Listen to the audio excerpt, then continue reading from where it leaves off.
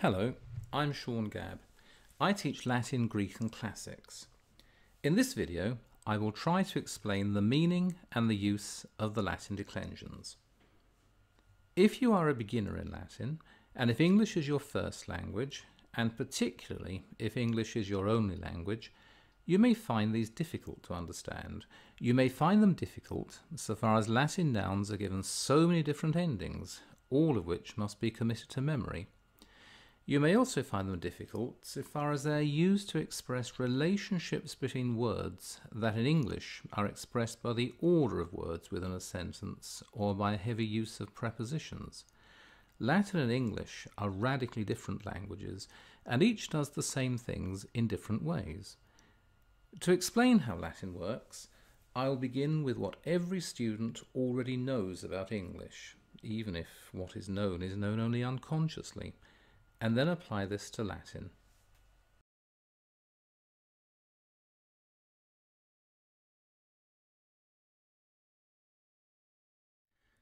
Let us begin by looking at these two short and simple sentences in English. Marcus kills Sextus and Sextus kills Marcus. Their meanings are different, but equally clear. In the first, Sextus is being killed by Marcus. In the second, Marcus is being killed by Sextus. There is no possible doubt of their meaning.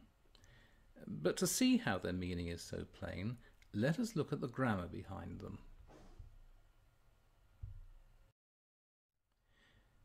In an English sentence, there will normally be three main parts, without which the sentence may not in itself make sense. There is a subject, there is an object, and there is a verb. The subject is the person or thing that is acting. Marcus kills Sextus. Because Marcus is the one who is killing, Marcus is the subject. The object is the person or thing that is being acted upon. Marcus kills Sextus. Because Sextus is the one being killed, Sextus is the object of the sentence.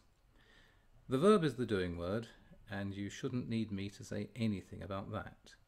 So here we have the sentence Marcus kills Sextus, a sentence containing a subject, a verb, and an object.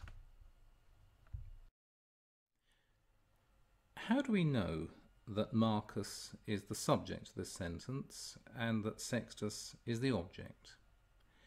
The answer is that, generally speaking, in English, the subject comes before the verb and the object comes after the verb. Therefore, Marcus is the subject because it comes before the verb kills, and Sextus is the object because it comes after the verb killed. If we change the order of the words in the sentence so that Sextus kills Marcus, we change the meaning of the sentence. Sextus, because he comes before kills, is now the subject. Marcus, because he comes after kills, is now the object. To see how this works in Latin, let us continue the sentence Marcus kills Sextus. In Latin, the position of the words in a sentence is much less important than how the words end. Look at this. Marcus necat sextum. Both names are masculine nouns of the second declension. When used as a subject, a name will end us. When used as an object, a name will end um.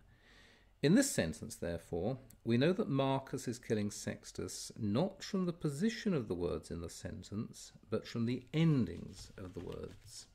Indeed, let us rearrange the sentence. Marcus sextum necat. This is closer to the normal order of words in a Latin sentence, so far as there is any normal order. If we place the verb at the end, it is still Marcus who is killing Sextus. Or let us rearrange again. Sextum Marcus necat.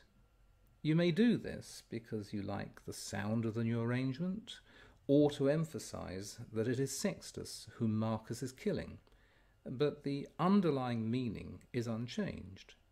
Change the order in an English sentence of subject and object, and you change the meaning of the sentence. Change the order in Latin, and the underlying meaning is the same.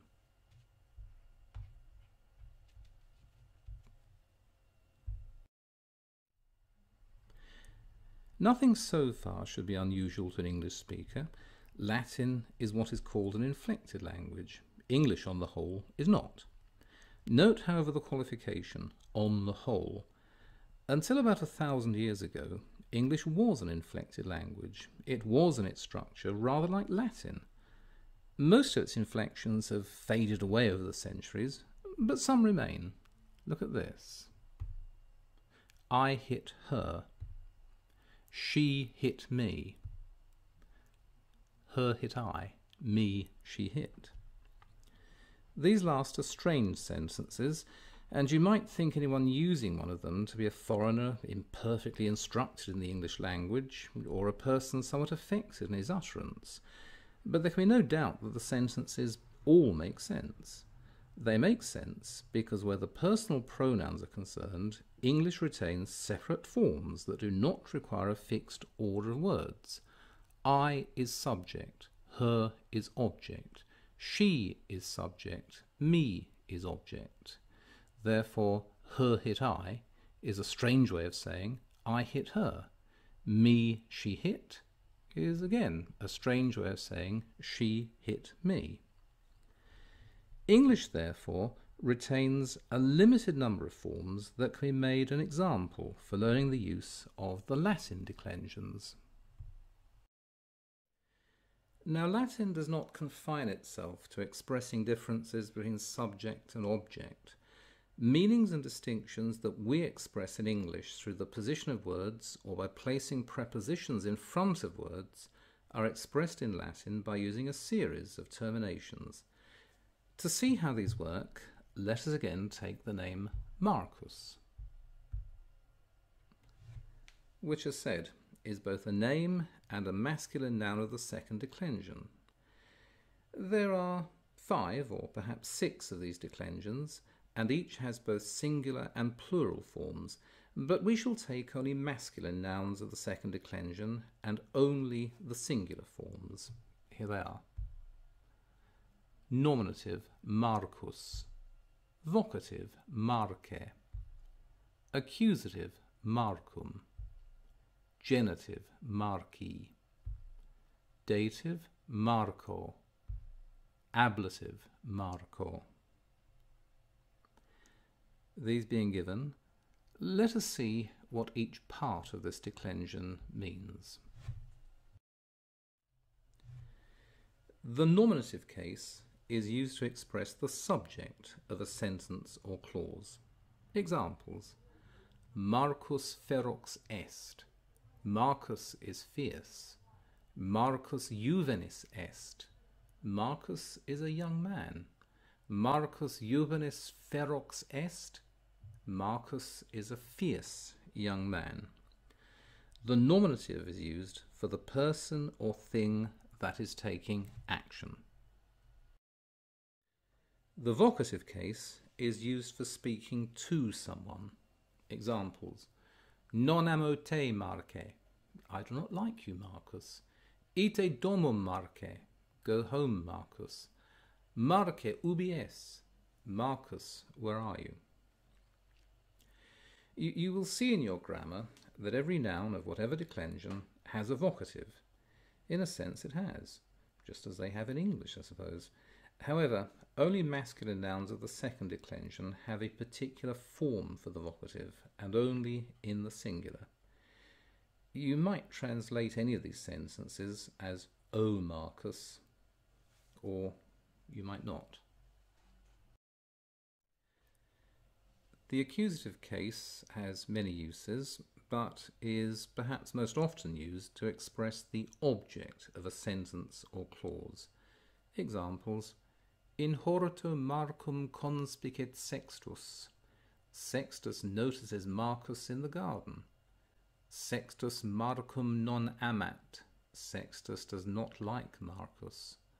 Sextus Marcum timet. Sextus fears Marcus.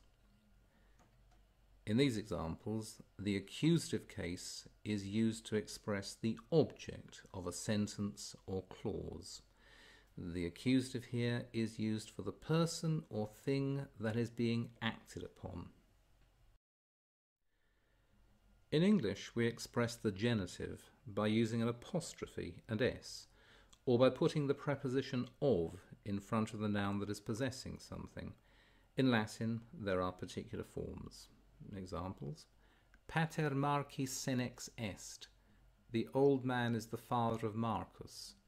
In manu Marci nihil vidit. He saw nothing in Marcus's hand. The genitive case is used to show that someone or something possesses something. It has other related uses. The dative case expresses the indirect object of a sentence. Examples Senex gladium Marco dedit. The old man gave a sword or the sword to Marcus. Cenam Marco parabit. He prepared dinner for Marcus. In English, we use to or for to show the indirect object of a sentence. In Latin, as ever, there is a particular form. Oh, and note the ambiguity of whether the old man is giving a sword or the sword to Marcus. In Latin, unlike in English, unlike in Greek, and unlike in many modern languages, there are no articles. There are no words for the or for a. Therefore, when you are given a, a Latin sentence like Senex gladium Marco dedit, it is up to you to guess whether he's giving a sword or the sword, or to find out whether he's giving a sword or the sword by looking at the context of the whole passage. The ablative was originally a case for expressing separation from something. By the classical period, it incorporates two other cases, the instrumental and the locative. After the nominative, it may be the case most often used in a Latin sentence. Here are some of its uses, and we shall continue the rather sad story emerging in these slides. A Marco necatus est sextus, Sextus was killed by Marcus. Here, Marcus is the personal agent. And, and now we move away from examples directly affecting wicked Marcus. Sextus vulnere mortuus est. Sextus died from a wound. Here the ablative is used to express a cause. Sextus Marcum gladio necavit. Sextus killed Marcus with a sword an instrumental use. De sexto multa fabula Marcus narrat. Marcus tells many stories about Sextus. Reference. Laetior sexto Marcus est. Marcus is happier than Sextus, the ablative of comparison. Laetus est Marcus necatus sexto. Marcus is happy, Sextus having been killed. This last is an example of the ablative absolute. This is a kind of subordinate clause, and you would normally translate it as Marcus is happy having killed Sextus, or even Marcus is happy because he has killed Sextus. But Latin has a shortage of active past participles, and so a passive past participle needs often to be used. Why the clause is put in the ablative case would require a longer description than I wish to give here, but ablative absolutes are very common in Latin and very useful. Let us return to the full list of cases. Marcus. Marcus, Marce, Marcum, Marci, Marco, Marco. You will have noticed that the dative and ablative forms of Marcus are identical, Marco and Marco. If you look at a full table of declensions in your grammar, you will see that they all have duplicates. For example, in the first declension, The singular genitive and dative and the plural nominative are identical. The fourth and fifth declensions are particularly lacking in separate parts. This lack of separate parts, or these duplicates, can be confusing. But there are two ways of dealing with any confusion. The first, and the most important, is to learn the declensions thoroughly. There is much in Latin that does not need to be memorized. Much can be learned by coming to recognize it as you read. But the declensions must be learned. You must commit them all to memory. You must also learn how they are used so that you can recognize them in a text. The, the second way of dealing with the confusion is to understand why there are duplicate forms. The grammar of classical Latin must be seen as a snapshot of the language taken at a particular time in its development. Classical Latin is a standardization of the speech of the educated classes during the century or so before the birth of Jesus Christ. Compared with Old Latin, or with its immediate parent Italic, or with its remote ancestor Proto Indo European, it has lost a lot of grammar. It has lost several tenses and most of its participles. Its declensions are also in a state of gathering collapse. By about uh, 200 AD, it will have lost several of its cases the genitive, I think, and the dative.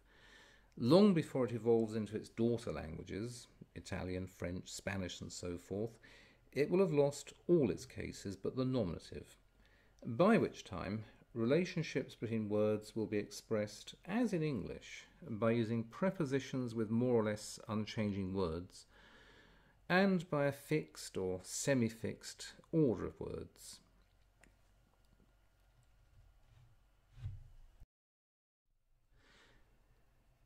To see what has been lost, look at the declension Marcus as it would have appeared around 250 BC before Latin was taken in hand by the Roman educated classes and made into a classical language coordinate with Greek. Marcos, again, a masculine noun of the second declension. Nominative, marcos. Vocative, Marce. Accusative, Markom. Genitive, Marki dative, Marco. Not much change here. You can see that O has become U. Marcos in Old Latin has become Marcus in Classical Latin. I, I don't think that in rapid colloquial speech you'd have heard any difference. It, this is largely, I'm sure, a, a matter of spelling. Uh, but look at the ablative, markod, here you have a separate form for the ablative. Again, I have no doubt that in rapid colloquial speech you might not have noticed a difference between Marco and Markod, that they might have sounded identical. But in careful speech, and particularly in writing, there was a difference. You could tell whether a noun was being used in the dative or the ablative case. Indeed, with some reservations, let me add the locative case, marke. Perhaps you might want to say, I am with Marcus, in which case you might say, sum marque. On the other hand, you can't do that. A locative case governs um, places, not people. That being said, I've added it simply I hope you found this video useful. If you have, please check out my other Latin videos. You may also wish to check out my classics teaching website www.classicstuition.co.uk. Many thanks.